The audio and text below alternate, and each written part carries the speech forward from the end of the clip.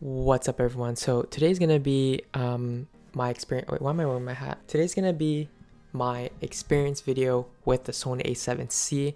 I've had this camera for around six months now, and I'm actually recording with my a7C. But this video is really gonna be my experience video. I'm gonna try to keep it short. Everything, everything is gonna be in the description. So yeah, that's pretty much it for the intro, and let's get on the video.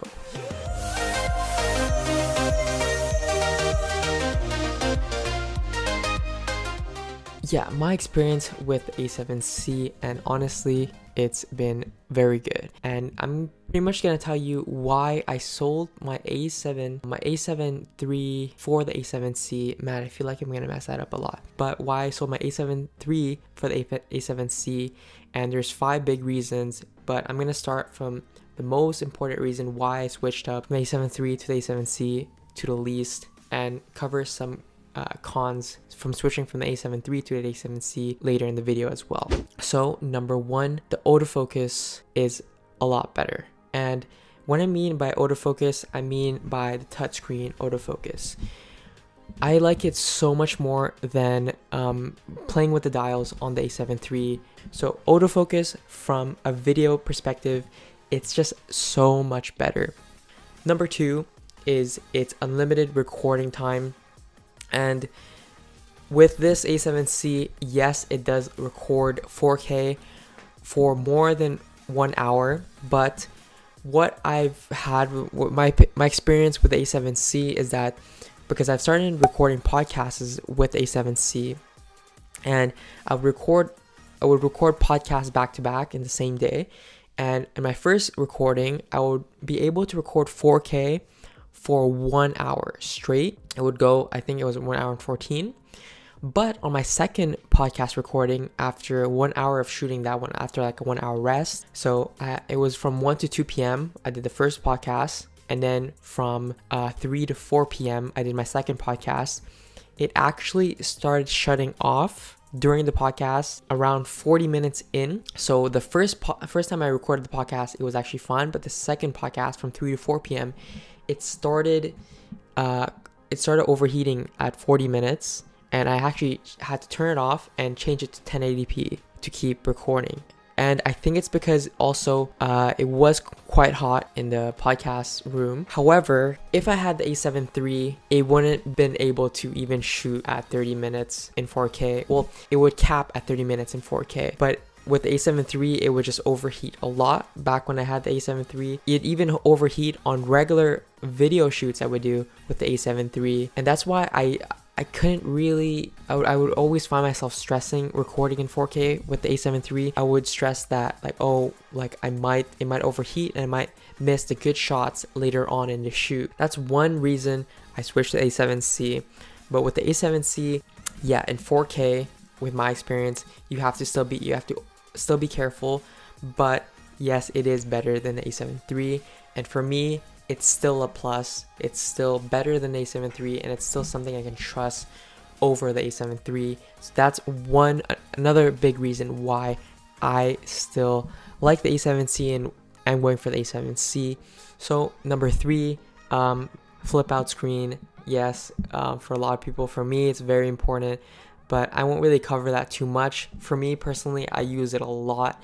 I like it more than um, I like it a lot for shooting portraits because I like shooting in um, vertical mode and I like being able to flip out the screen if I'm gonna shoot low angle or higher angle. I like how you're able to adjust that. With the A7 III, you can't adjust the screen properly when your camera is in vertical mode. Also for gimbal work, a flip out screen helps me a lot.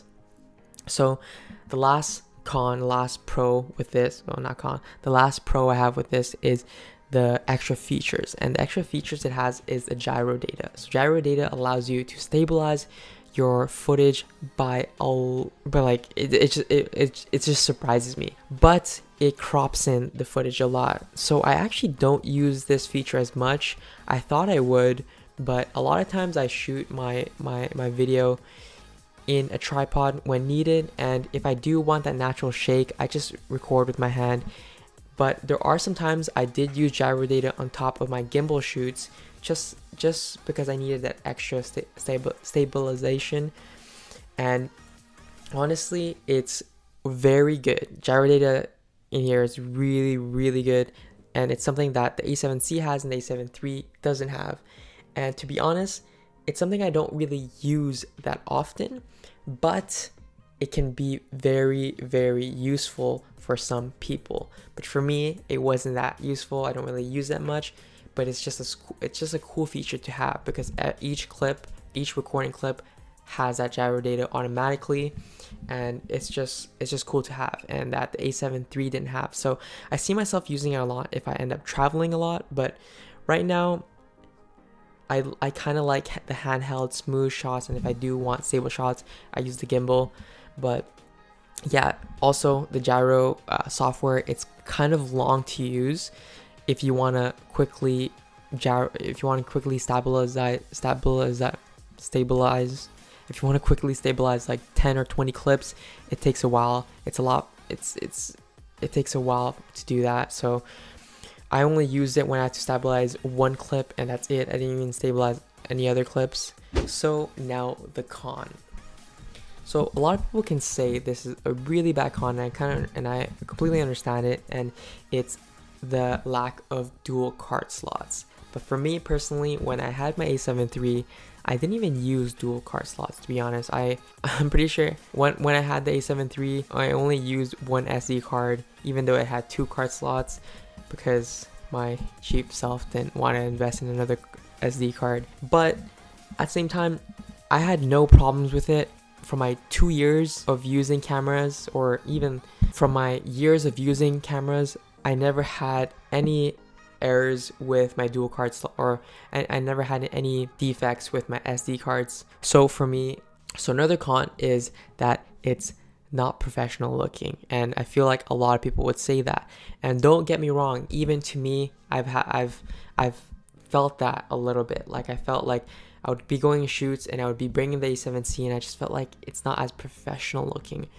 But so many times a lot of people don't really question you as long as you showed your past work. For me showing my past work has helped me a lot and moreover, the clients I work with are long term clients. It's not clients I just work one project with and then that's it, I'm gone. It's mostly sometimes I'm, i work with them for one project and I keep working with them further on. If not, they just keep me in contact and whenever they need a video, they just message me.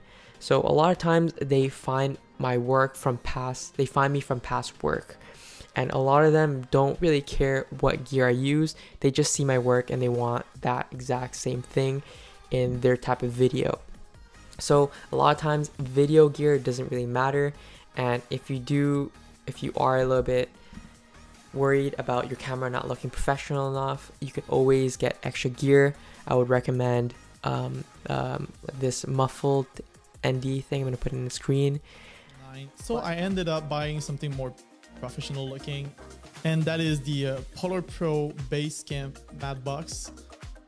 And it is awesome. Let me tell you this thing is awesome. It looks really professional. And in a world where the video cams are getting smaller and smaller, like the A7S3, it really looks like a photo camera. So clients sometimes are just like, whoa, I got a camera that looks just like that. It can be a little weird for them to see such a small camera on a like bigger productions. So But I don't really see the need. I I would say my lenses make it look professional already. Um, but a lot of times customers don't ask for me i always bring i always usually gear it up in uh, a gimbal i have a ronin s and that to already looks professional enough but yeah if you're worried about being looking professional enough um yeah, I don't know what to say. Honestly, it's not a big deal. It's not really worth it. You know, for all the pros that you're getting to get the A7 III just to make it look bigger, I don't think it's worth it. So that's pretty much my pros and cons list and my experience with it. Now I'm going to be telling you guys who it's for. And personally, I think it's again for the videographers. As you can see throughout this video, a lot a lot of these pros are related to video aspects. So to for someone that that's that's shooting plenty of video which is what I'm doing. I don't really shoot photos as much, but with this full frame 23, 24 megapixel camera, it's very good for a photo and the autofocus is amazing. But if you if you are a photographer and all and what you mainly do is photos, I wouldn't recommend doing it. I would only recommend if you're a videographer and you're trying to get the A7S III. Personally, that's what I'm trying to do, but you don't have the money for it yet. So I think the A7C is a very good budget if you're in the middle of the A7 series and the A7S III. If you're in the middle of buying those two, the A7C is honestly perfect. Um, yeah, that's pretty much it, and that's my experience with the A7C. If you guys want to see some uh, video samples, it's gonna be in the end of this video and in the link down below. So that pretty much brings the end of this video. Yeah, that's pretty much it guys. Also message me on Instagram if you have any additional questions you'd like. I'm going to put it in the screen and thanks for watching and I'll catch you guys next time. Peace.